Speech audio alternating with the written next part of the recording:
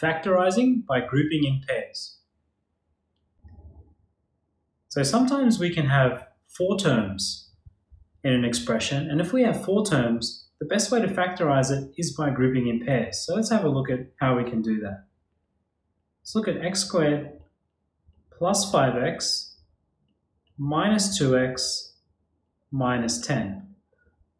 Obviously, I probably could add these two terms together and then just factorize with normal monic quadratic, which we looked at in the previous video, but let's have a go factorizing by grouping in pairs. So what that involves is splitting up our, our terms into two and just looking for common factors in each one. So common factors, sorry, looking for common factors in pairs. So out of x squared and 5x, we can take x out, and that'll leave us with x plus 5. Then in minus 2x and minus 10, I can take out minus 2. And that'll leave us with x plus 5. Now, we end up with two terms, this one and this one. And now there's a common factor with those two terms. x plus 5 is common in both, so we're going to pull that out as a common factor. So we pull out x plus 5 out of the first term, and hopefully you can see if we pull out x plus 5, we're just left with x. Then if we pull x plus 5 out of this term, we're just left with the minus 2. And now we've factorized that by the method of grouping in pairs, just tidy it up by giving the other one a rounded bracket. Let's look at another example. x squared minus x plus xy minus y. So this one we can't actually simplify at the start like we could have with this one. So there's no like terms here, so we have no choice but to try and factorize by grouping in pairs. So let's try separating these pairs from each other and looking for common factors. So a common factor with the first two is x. We pull x out of x squared, we're left with x, and taking x out of minus x, we have minus 1. Then in the next one, we can take, looks like we can take y out, because y is in both terms. And we're left with x, we take y out of minus y, we're left with minus 1. And again, this is really good, because we're left with a common factor of x minus 1. So let's pull that out as a common factor. And if we do that, in the first term we're just left with x, and in the second term we're left with the y. So pulling out the x minus 1, we're left with this x over here, and pulling out the x minus 1 out of this term, we're left with the y over here.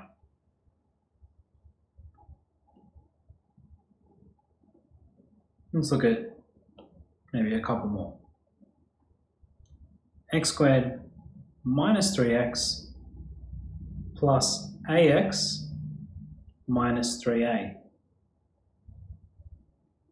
So again, sometimes you have to rearrange them, but this one looks like I'll be able to do it here. So let's pull out a common factor of x squared and minus 3x. Well, that's just going to be x. It's going to leave us with x minus 3. And over with the second two terms, we can pull out a factor of a to leave us with x minus 3. That's exactly what we want. We're trying to leave behind a set of brackets that's the same, so we can then pull out them as a common factor on our next line. So x minus 3 is now the common factor. And if we pull x minus 3 out of this first term, we're just left with the x. And if we pull x minus 3 out of the second term, we're just left with the positive a. Now that's factorized. All right, one more. 3x squared minus 6ax minus 7x plus 14a. So let's split them up and just look at factors in pairs. So in the first term, we can actually pull out 3x.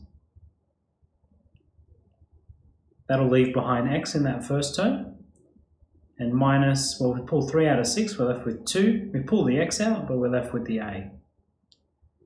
In the second term, we can pull out, we actually want to pull out minus 7. And I know that because it'll leave behind a positive x, which is what we want. And if we pull out minus 7 out of here, it'll leave behind a minus 2. So sometimes you've got to look ahead a little bit and see if you need to pull out the negative or not. So here I do want to pull out the negative because it just leaves behind a positive x.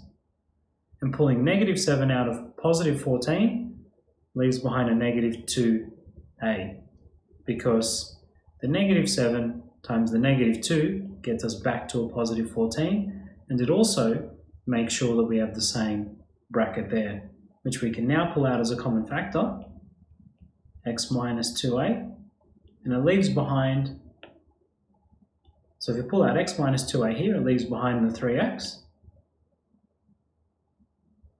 And if we pull the x minus 2a out of the second term, it leaves behind the minus 7. And now that's fully factorized. Thank you.